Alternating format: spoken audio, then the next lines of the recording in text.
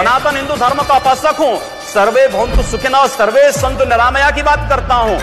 मैं किसी मत और मज़हब का विरोधी नहीं लेकिन जो भारत का विरोधी है मैं उसका विरोधी हूँ। सर वो कोई भी हो मैं उसका विरोधी